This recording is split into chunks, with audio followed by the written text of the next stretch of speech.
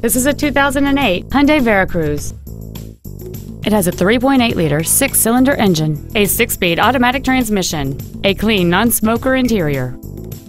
Its top features include a low tire pressure indicator, XM satellite radio, alloy wheels, and traction control and stability control systems. The following features are also included air conditioning, a split folding rear seat, cruise control, a six speaker audio system, four wheel independent suspension, a rear spoiler, a passenger side vanity mirror, an anti lock braking system, heated side view mirrors, and this vehicle has fewer than 45,000 miles on the odometer.